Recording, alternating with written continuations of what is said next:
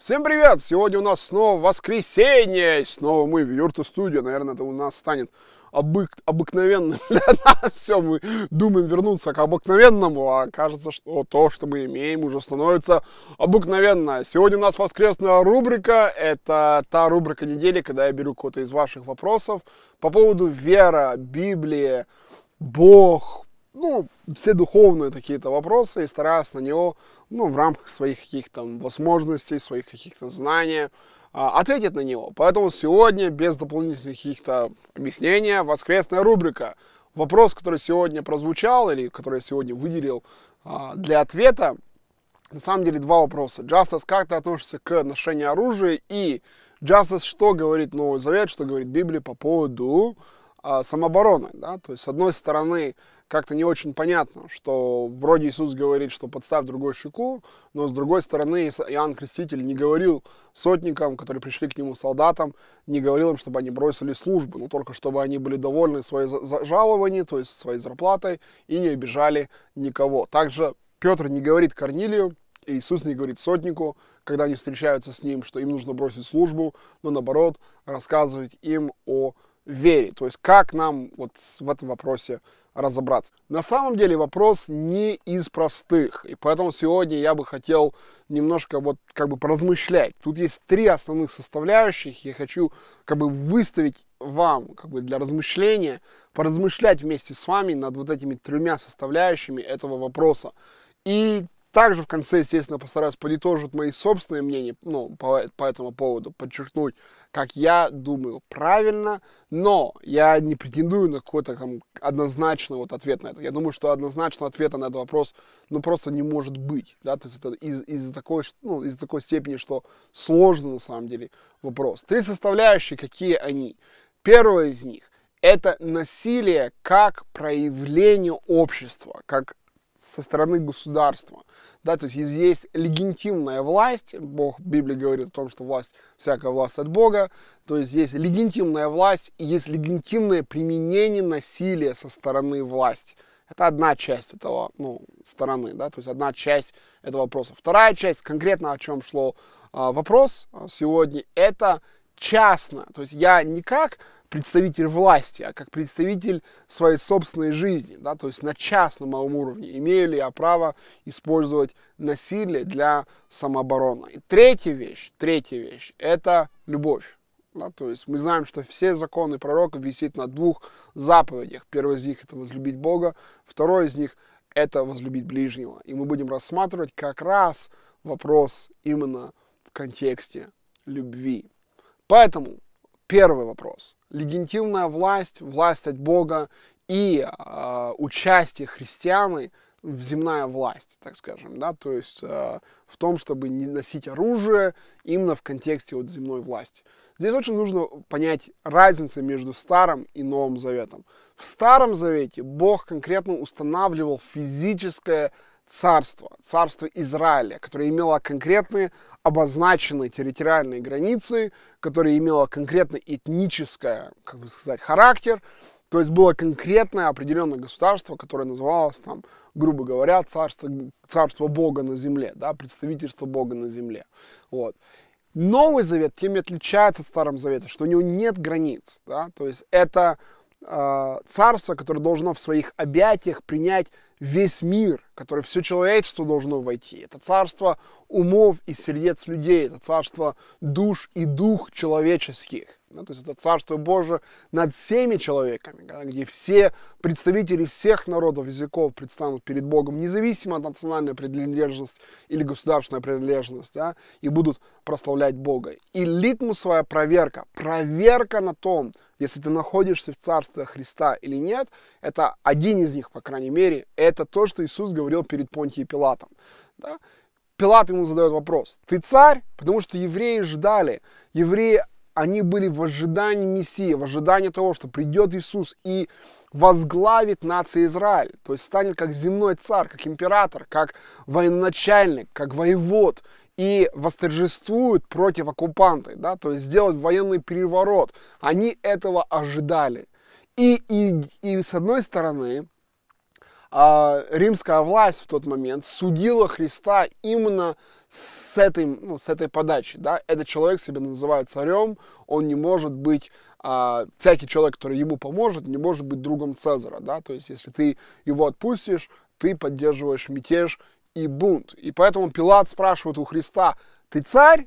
Да, то есть Иисус говорит, царство мое не от мира всего. И проверка, если ты на самом деле понимаешь это или нет, это в следующих словах.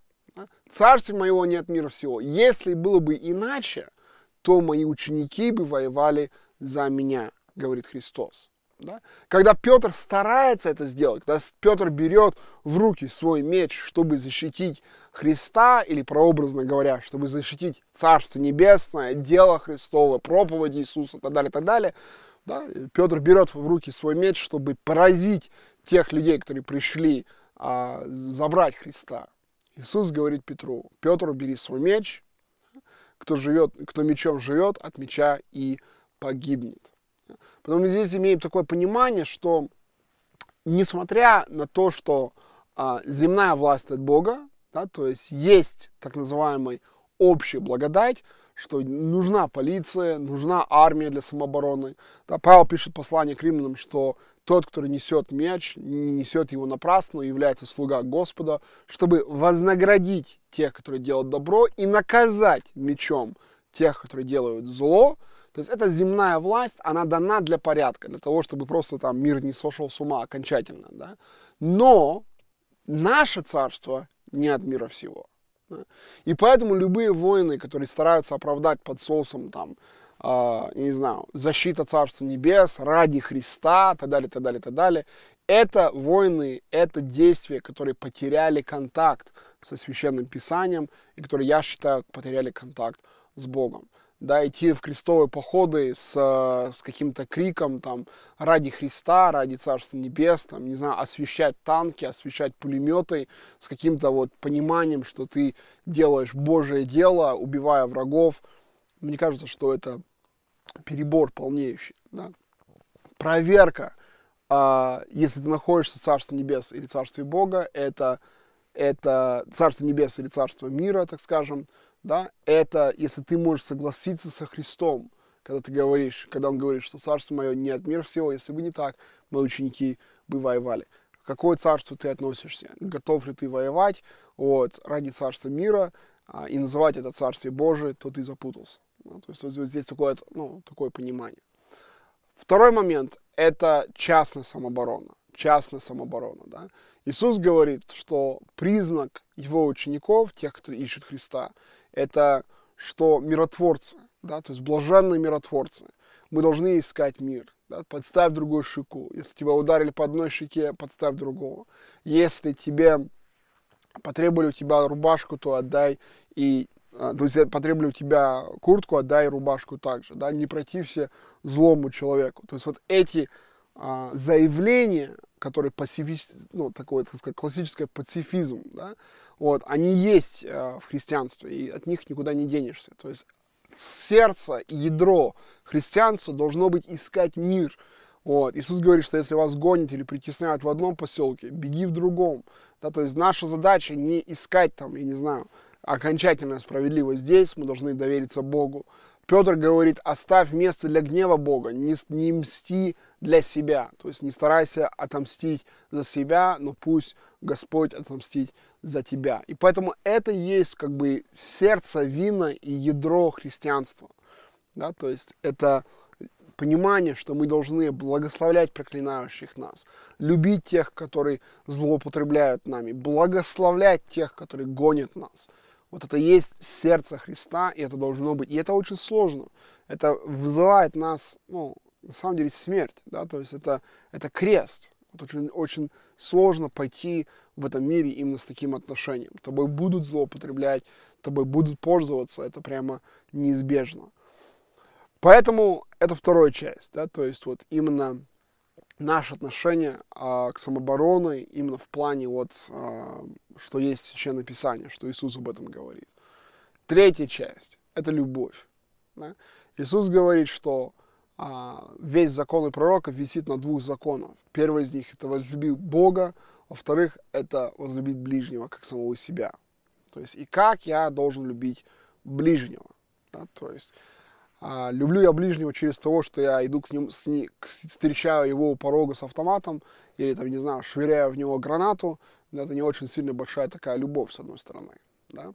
Но тут и на этом разговоре, вот в этих трех сегментах, должно вступить исторический разговор, да, потому что церковь, она не, как бы Евангелие же, она не родилась в вакууме, так скажем, да, и она не практиковалась в, последние, в протяжении последних двух тысяч лет без а, применения реально в жизни. Поэтому как вот эти три вещи, да, то есть с одной стороны государственная власть, с другой стороны частное вот это вот отношение, и третьей стороны именно вопрос любви в историческом контексте. Когда христианство родилось, она родилась как маленькая религиозная группа, религи, религи, религиозная секта э, внутри Большой Римской империи. И второй, третий век, они были такими веками Пакс Романа, да, то есть это золотая эпоха Римской империи, когда, в принципе, никаких а, больших воинов не было, когда был мир, вот, восцарствовало несколько столетий буквально, мир почти что по всей Римской империи. Преступность была на крайне низком уровне. Плиний-младший пишет о том, что там девственница могла скакать на арабском скакуне, голая, с мешком золота, и никто бы к ней даже там пальцем бы не прикоснулся, да, то есть, что, что было реально вот э, какой очень-очень-очень высокий уровень именно светское, государственное, гражданское э, мир, да, то есть отсутствие преступности изнутри э, и отсутствие преступности или там угрозы извне. Пиратство в Средиземное море было почти что полностью истреблено, также разбойники на дороге уже не стояли, и в принципе христианство могло развиваться в таких тепличных условиях реально мирного и стабильного гражданского власти. И церковь ранее, они ставили очень большой упор как раз на второе, то есть учение Иисуса, а наша частная, э, как сказать, ответственность прощать и любить. Ранняя церковь говорила следующее, по большому счету. Если человек э, служил в армии и хотел принять христианство, но служил в армии до принятия христианства, это также касался и вообще все госслужащие, да, служил государству или, или э, в армии до, до принятия христианства, то ты, при, приняв Христа, приняв церковь, приняв христианство, ты можешь оставаться на этом посту до того момента, как только тебе придется проливать кровь, как вот тебе придется вот а, участвовать в горячих боевых действиях, тебе нужно отказаться этого делать. То есть просить своего командира перейти на какой-то пост, а, не носящего оружие, или терпеть казни за неучастие в бой. То есть это очень, как бы сказать, много, а, как сказать, исторических документов, и все по этому поводу есть именно позиция ранняя, ранняя церковь. Если человек был в церкви и хотел стать военным, именно вот э, в ранней церкви, да, до 4 века, так скажем, да, вот, то его отлучали от собрания, да, то есть также вот, если он хотел стать госслужащим, да, потому что ранняя церковь, в отличие от сегодняшней церковь, в отличие от сегодняшнего мира, понимала, что всякие содействия с государством, это содействие с кровопролитием, как бы не было, потому что, что такое государство, да, государство это насилие, насилие под контролем, но насилие тем не менее, и поэтому а, ранняя церковь хотела как бы отчуждать себя, насколько возможно, от кровопролития. Было такое очень жесткое и очень стабильное пацифизм в раннее христианство. Но опять же, это инкубаторские условия, гражданское право была, гражданская власть была очень стабильная, никаких, на самом деле, угроз со стороны варваров или со стороны внутренних каких-то разбойников особого не было. А, конечно, приходилось там прощать каких-то врагов, каких-то там крайних случаях, когда бандиты ворвутся в твой дом, может быть, они и были, но они были крайне редкие, может быть, такие же редкие, как в наше время, или еще реже. И потом церковь имела такое стабильное вот, ну, видение по этому поводу. Но все это изменилось в пятом веке.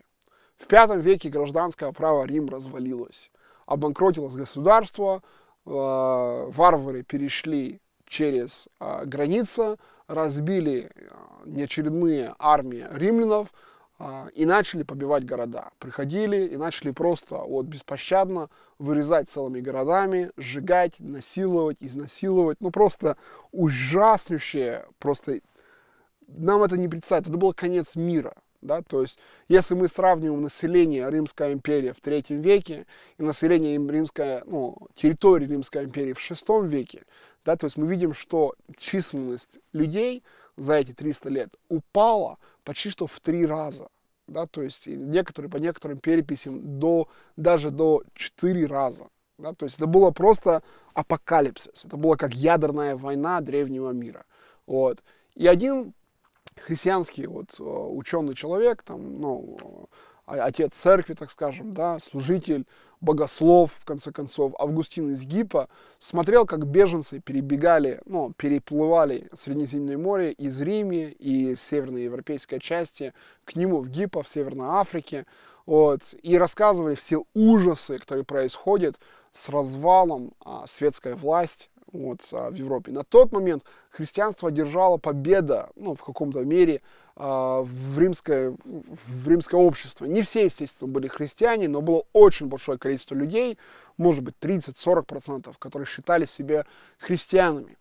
И Августин начал задавать себе вопрос. Ну вот, смотрите, раньше на пост госслужащих и на пост военных были мирские люди. Да, то есть были вот э, люди, которые вот не назывались учениками Иисуса, они воевали ради Рима. Да?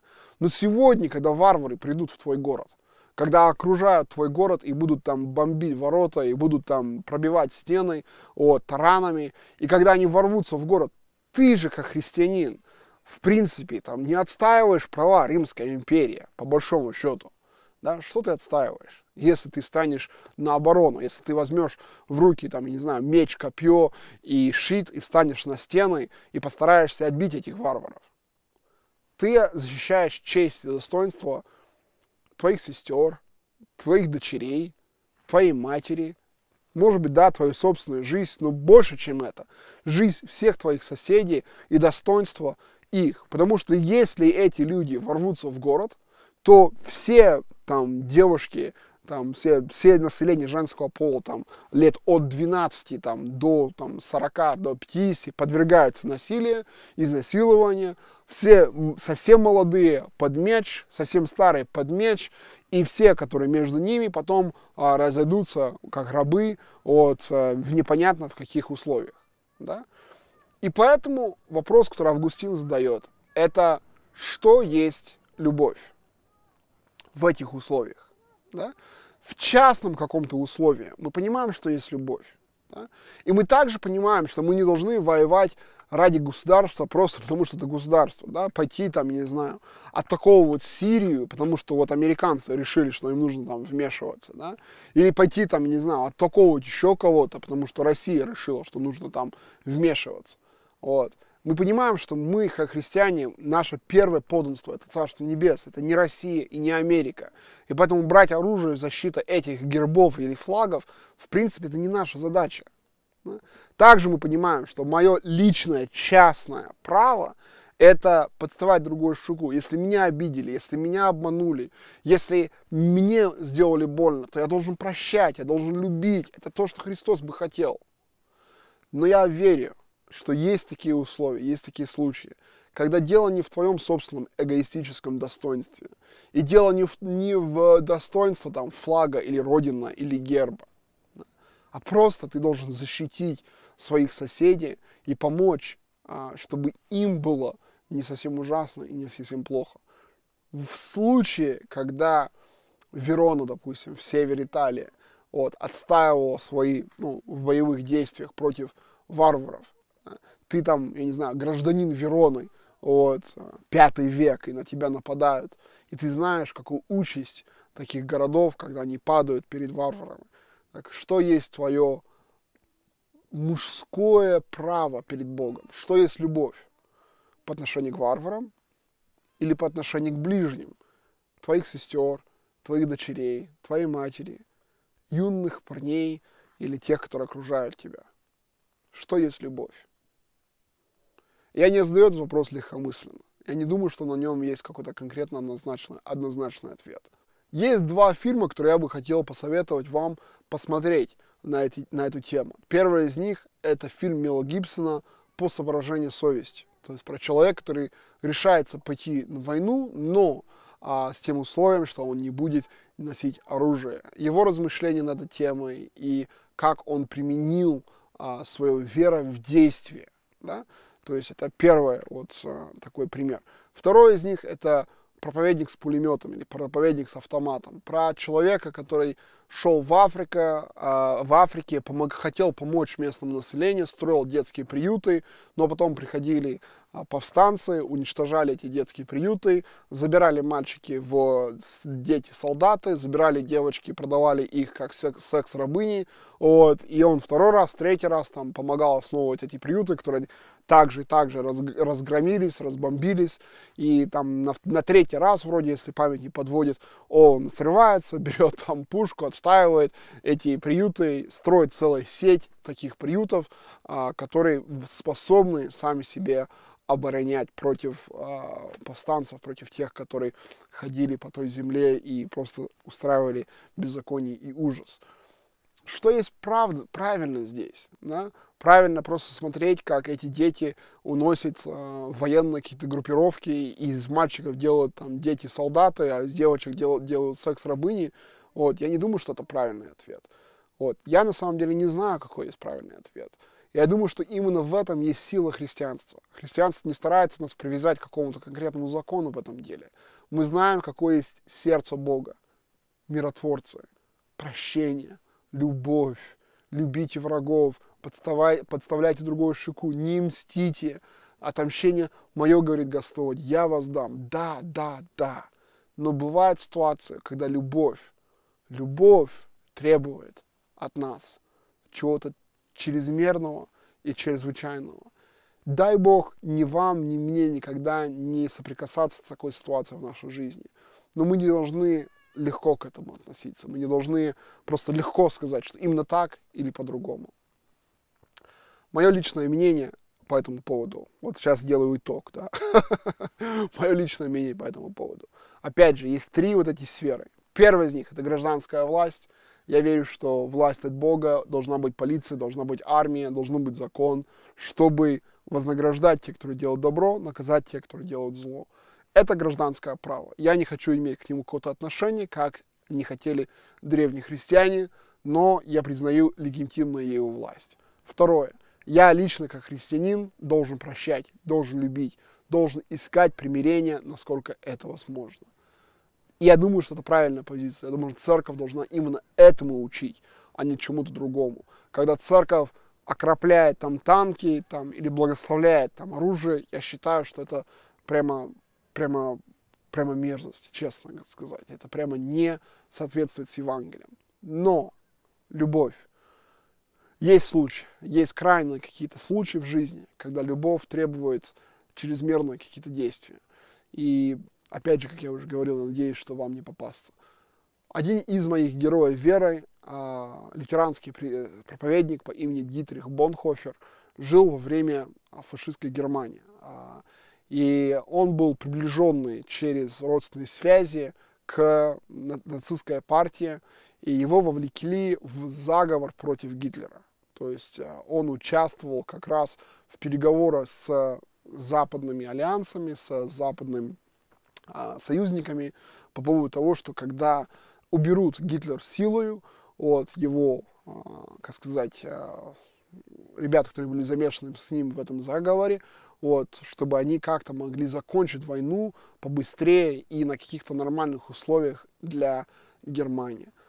А заговор, в котором был замешан Бонхофер, а, Дитрих Бонхофер, не, был неудачным. То есть взрыв не убило Гитлера, и все заговорщики а, рано или поздно забрали и потихоньку их всех по разным местам казнили. Один из них это был, естественно, тот же Бонхофер. И он говорил в своих частных письмах, секретных письмах своим друзьям, что я понимаю, что действия в попытке убить тирана Гитлера были неоправдаемы со стороны Священного Писания или со стороны даже классического христианства или со стороны церкви. Говорит, я не прошу, чтобы церковь меня оправдала. Церковь никогда не может оправдать тираноцид, да, вот, она не может дать, ну, я не знаю, печать одобрения против того, чтобы христиане брали в руки оружие и убивали тираны.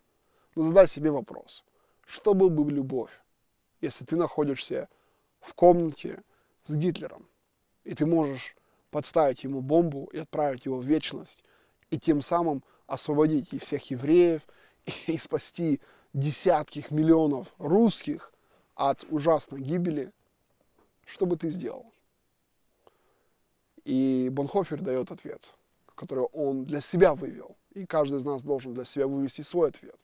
Но его ответ звучал следующим.